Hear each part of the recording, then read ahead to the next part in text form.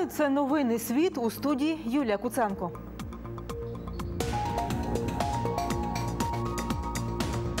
Коли ще ПРО з'явиться в Україні, а Росія вже готується реагувати. Війна заяв Києва та Москви. Хатинка на воді. Двоповерхова будівля із подвір'ям та садком з'явилася на темзі.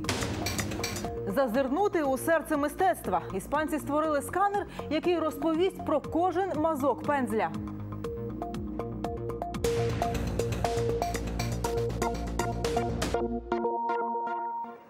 Макрофінансову допомогу від ЄС ще на мільярд та 800 мільйонів євро отримає Україна. Меморандум про це підпишуть на саміті східного партнерства у Ризі. Йдеться про останній третій транш. Перший та другий Київ отримав минулого та позаминулого року по мільярду 600 мільйонів. Це найбільша фінансова допомога Євросоюзу третій країні, тобто не члену ЄС за такий короткий період. Меморандум у п'ятницю підпишуть з європейського боку віце-президент Єврокомісії Валдіс Домбровськіс, з українського міністр фінансів Наталія Яресько та голова Нацбанку Валерія Гонтарева. Як боротися із домінуванням Кремля в російськомовних змі, розказали в Ризі напередодні саміту східного партнерства. Дослідження про це представили на медіаконференції, приурочені до саміту.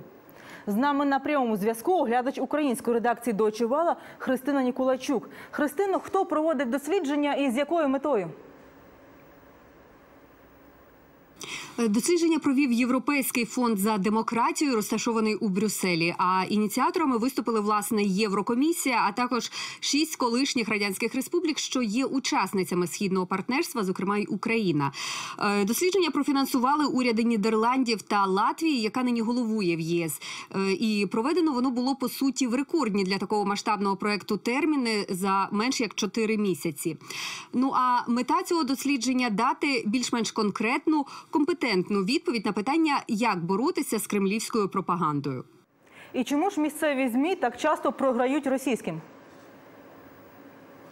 За висновком авторів дослідження, російське телебачення часто спотворює реальні факти, змішуючи правду з вигадкою. Але так майстерно, що це збиває з пантелику глядачів, і вони або починають свято вірити цим вигадкам, або ж е, втрачають довіру до будь-яких навіть об'єктивних змі. Російські медіа дуже вправно грають на емоціях. У них робиться ставка саме на емоційний напір. Але як підкреслюється в дослідженні, відповіддю на російську пропаганду в жодному разі не може бути контрпропаганда, бо це лише е, ще більше посилило б недовіру. І які ж тоді поради дають учасники конференції?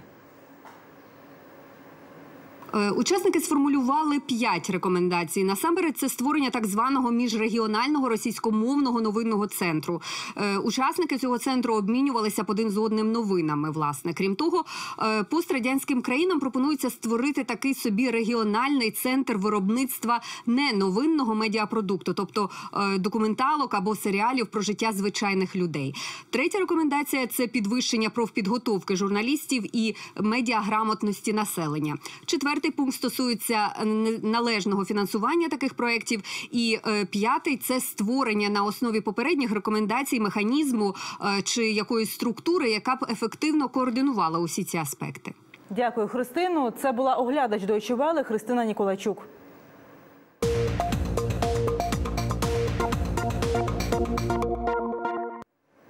Росія погрожує Україні зустрічними заходами у відповідь на можливість розміщення ПРО елементів системи протиракетної оборони США.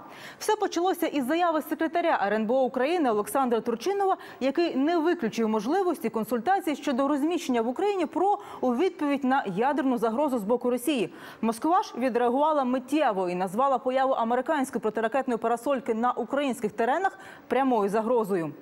Україна розірвала військово-технічний договір із Росією через понад рік після окупації Криму та початку вторгнення на Донбас. Угода діяла останні 22 роки. Про її скасування оголосив прем'єр-міністр Арсеній Яценюк. Він назвав Росію країною-агресором, яка становить загрозу для української державності та її територіальної цілісності.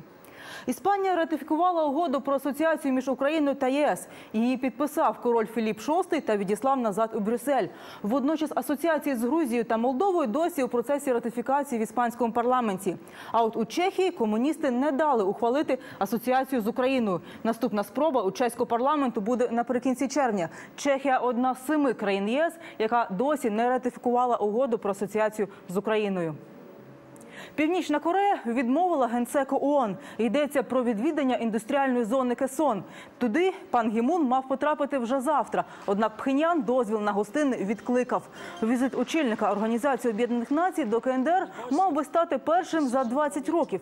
Кесон – спільна індустріальна зона Північної та Південної Кореї. Там працює 55 тисяч робітників з КНДР. Регіон є головним джерелом надходжень валюти для Пхеньяна.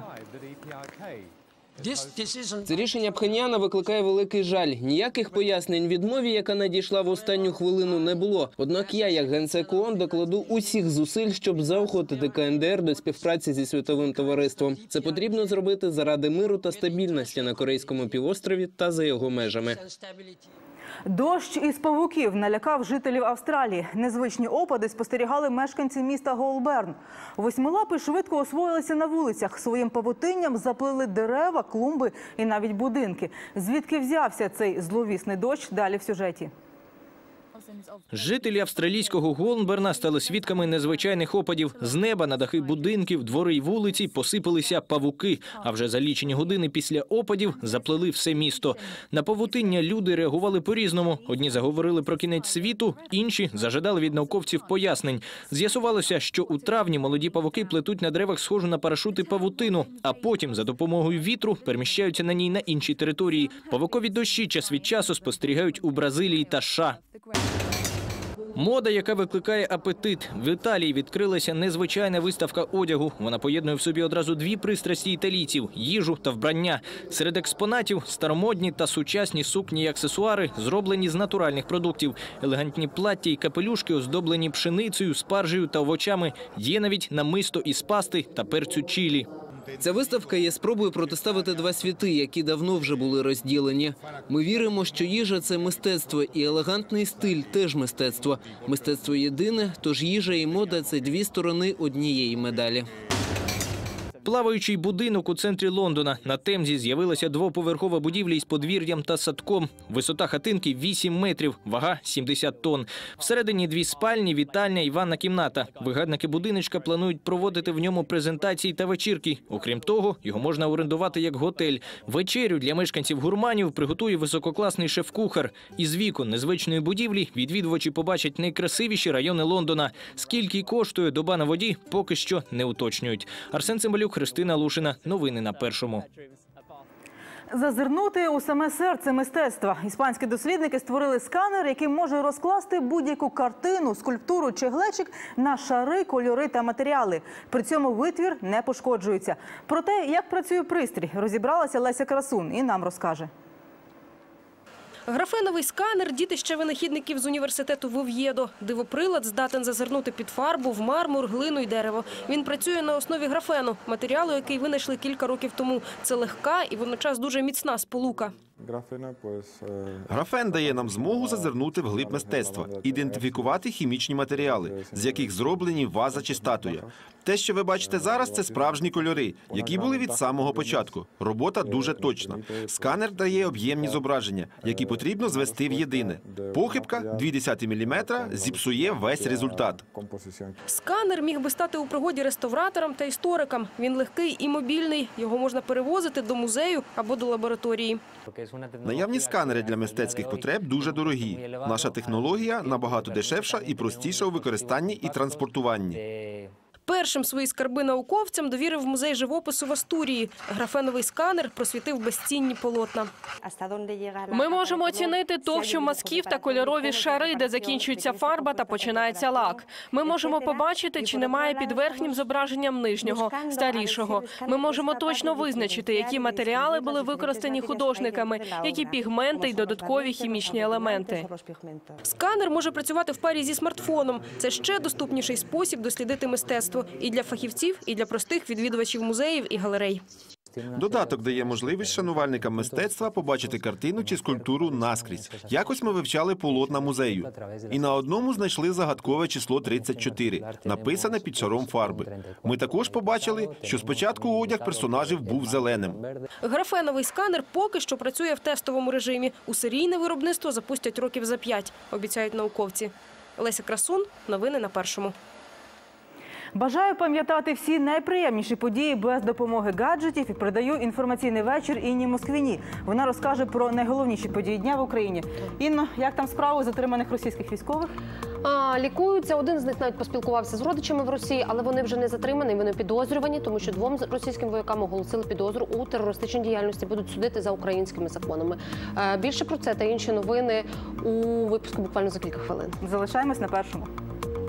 Thank you.